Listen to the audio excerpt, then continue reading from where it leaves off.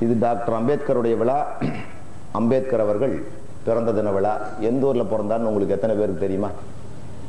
தெரியுமா? ஃபர்ஸ்ட் அம்பேத்கர் சொல்லிக் கொடுத்தது educate organise agitate or educate agitate organise first educate பண்ணு. முதல்ல மக்களை படிப்பு கற்பீங்க.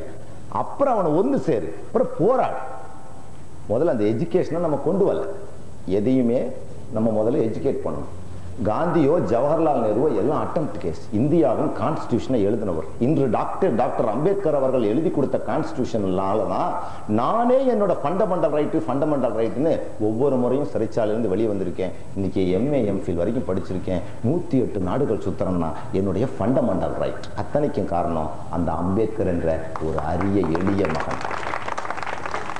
அவர் அம்பாடா மாவட்டத்தில் ரத்னகிரி டிஸ்ட்ரிக்ட் என்று ரத்னகிரி டிஸ்ட்ரிக்ட்டுக்கு என்ன தமிழ் டாக்டர் ஆஹ், ஜில் மாவட்டத்தில் அம்பாவாடா என்ற ஒரு சில்ல வில்லேஜில் மகாராஷ்டிராவில் பிறந்தார். மகாராஷ்டிராங்கிறத மகாருடைய ராஷ்டிரமாக இருந்தது. இந்த மாதிரி தீண்டத்தகாதவர்கள் மகார்கள் மகார்கள் இவர்களுடைய ராஷ்டிரமா இருந்துச்சு. இந்த பாப்பார பூநூல் உள்ள பூந்து மகாராஷ்டிராவை மராட்டான்னு மாத்திட்டான் இவனுக்கு எதையும் பண்ணுவானுங்க. இந்தியன் ஓஷனை கூட டிரான்ஸ்லேட் பண்ணியிருப்பானுங்களே இந்து மகா சமுத்திரம் ஏன்டா இந்தியன் ஓஷனை டிரான்ஸ்லேட் பண்ணா இந்து மகா சமுத்திரம்னு வருதாடா? அவ்வளவு பெரிய நாடு இது. இந்தியன் ஓசன் இந்திய பெருங்கடல் குழந்தையிலே இந்து மகா சமுத்திரமா இந்துங்கிற வார்த்தை இந்தியாவுக்கு சொந்தமான வார்த்தை இல்லை என்று முதலில் சொன்னவர் doctor Ambedkar. It is an imported word ஏதோ நான் கூட ஏதோ முஸ்லீம் முஸ்லீமும் இந்த பறைய ரெண்டு பேரும் ஒன்றா உட்காந்துட்டதுனால சங்கராச்சாரியார் இப்படி உட்காந்துட்டான்னா சத்தியமா அவன் மூத்தரத்தை குடிக்கிறான்டா நான். ஒரு தீண்டத்தகாதவன் பாத்துக்கங்க அவர் குடிக்கிற எச்சிய நான் குடிக்கிறேன்டா இதை சங்கராச்சாரிய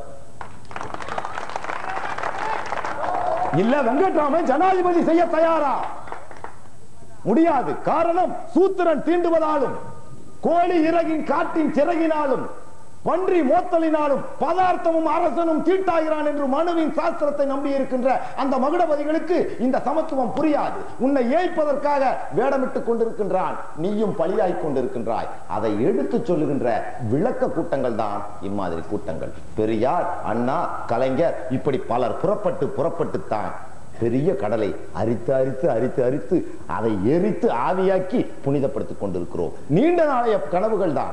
இருந்தாலும் ஒரு நாள் வெற்றி பெறும். ஆனா அந்த ரெண்டு பர்சன்ட நீங்க ஏமாந்து பலியாடாதீங்க